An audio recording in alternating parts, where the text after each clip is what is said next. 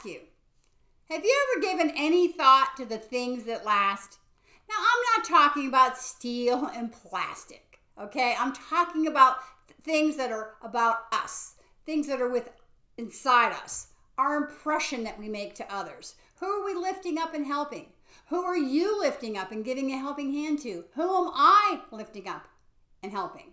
In this video, I'm going to talk about the things that last. And if you like this video, please hit the subscribe button down below and don't forget to hit the bell so you don't miss a video.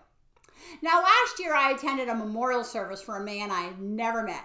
I'd only recently met his wife, and since I wanted to support her, I attended the service. I knew nothing about the man except his name. The parking lot at the church was almost full. Inside it was standing room only. Hundreds and hundreds of people were there. His golfing buddies, his church group people, his family, his friends from all over. The people he met at the store or out and about. So many stories were told, and those stories were so funny. It was clear that this man would be truly missed. He lived a life that was about others and not about himself. He was the first to smile, first to tell a joke and engage in conversation, and he expected nothing in return. His children spoke about what he taught them, how he engaged with them. His wife of over 40 years was just as enamored with him then as she was when they first met. He left behind memories and so much more. He left behind a legacy, a reminder to others that life is not all about us, it's about the others around us. Who do we impact? How do we impact others? And where does that happen? Well, this got me thinking about me and my memorial service. Who, besides my family, would attend? Am I making an impact? Anywhere. Would I be missed? What about you? Would you be missed? Now, I'm sure some people would miss us, right?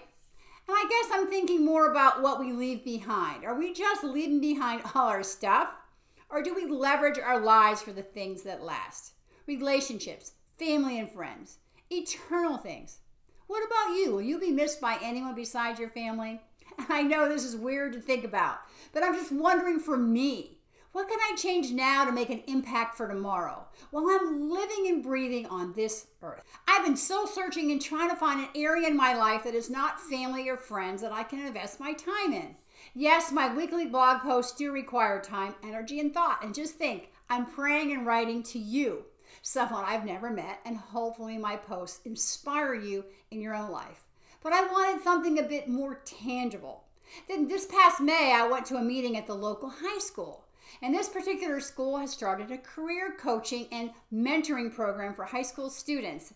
And as a mentor, you stay with your student or students as they figure out their career path, which might be trade school or a four year degree or something totally different. From my understanding, we do a lot of the research together, and this has me pretty excited.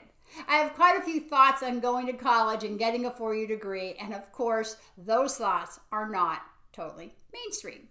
I'm hoping that this program will provide an opportunity for me to pour into the lives of others who aren't sure where to start. Do you volunteer at school? Bring snacks to the soccer field? Maybe help out once a month at a shelter? Or maybe you just smile and talk to the beggars at your local grocery store? Or maybe as a mom, your kids are all you have time for. Children are definitely things that last. Or is your head down? Now, I'm definitely trying to get into, I'm not trying to get into your face here. That is not my intent. Since I'm just wondering how I can leverage my life for the things that last, I thought you might be wondering the same thing too. Because my head seems to always be down and I need to lift it up. Would you like to join me in figuring this out? Would you like to join me in figuring out how to leverage your life for the things that last?